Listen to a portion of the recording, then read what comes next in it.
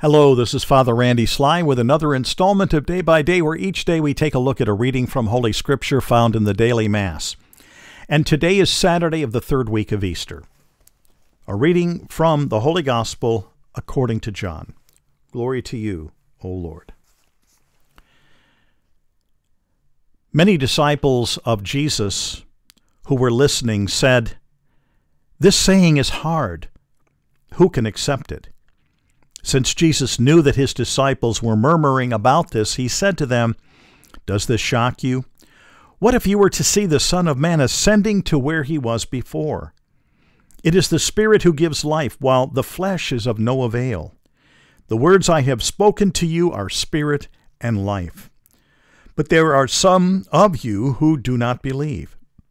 Jesus knew from the beginning the ones who would not believe and the one who would betray him. And he said, For this reason I have told you that no one can come to me unless it is granted to him by my Father. As a result of this, many of his disciples returned to their former way of life and no longer accompanied him. Jesus then said to the twelve, Do you also want to leave? Simon Peter said to him, Master, to whom shall we go? You have the words of eternal life. we have come to believe and are convinced that you are the Holy One of God. The Gospel of the Lord. Praise to you, Lord Jesus Christ. Well, we're finishing up the Bread of Life discourse and seeing the fallout of Jesus' teaching. And again, when it says that this saying is hard, who can accept it? It goes back to yesterday's scripture where Jesus says such profound things as, Whoever eats my flesh and drinks my blood has eternal life, and I will raise him on the last day. For my flesh is true food, my blood is true drink. Whoever eats my flesh and drinks my blood uh, remains in me, and I in him. And again, as we talked about yesterday, this is so hard for them to understand on the other side of the cross because they don't have the reflection point that we do. Those who are on the other side of the cross, the other side of the resurrection, and within the formation of the church that began at Pentecost and continues on through uh, our century right now. And we understand now what Jesus was teaching through the Eucharist. We understand what it means to eat his body and blood, that that is what takes place in Holy Communion. We all understand that now, but for them back then, it really uh, was, as they said, a hard saying. Many of them thought he was talking about becoming cannibals, and that just really, uh, in fact, that was one of the accusations in the early church. made by the detractors. In the early church, many of them said, referring back to these teachings from Jesus, that secretly the Christians were actually partaking in cannibalism. But that was not obviously the case, and we understand now. And there were those back then who, even though they didn't understand, like Simon Peter in our gospel today, he didn't understand exactly what was being said, but he trusted Jesus. And I think this is the key. This is the thing we have to look at in this particular passage. Uh, Jesus, it, it, says, knew that his disciples were murmuring, and Scripture also says he knew who would not believe.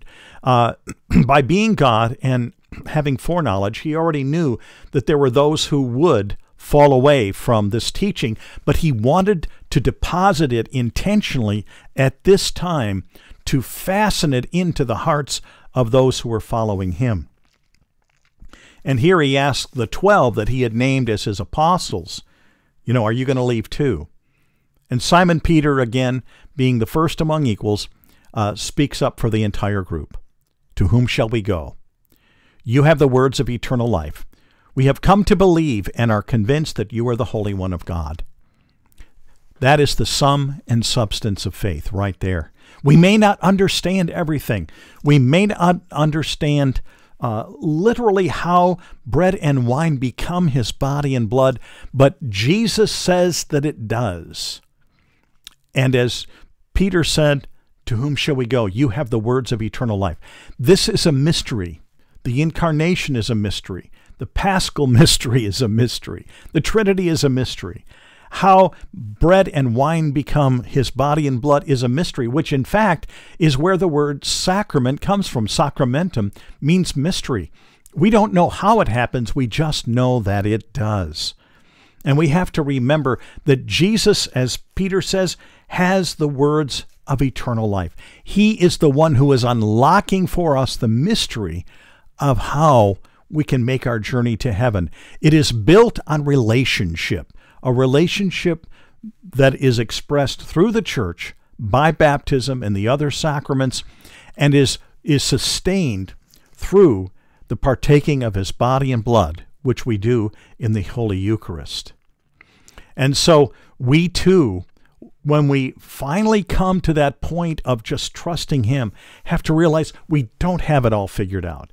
It isn't something that can be totally, completely understood uh, in the fullness of, of our mind. In fact, uh, I remember there's a, a Protestant philosopher by the name of Dr. C.E.M. Joad who said at one point, A God who is comprehended is no God at all.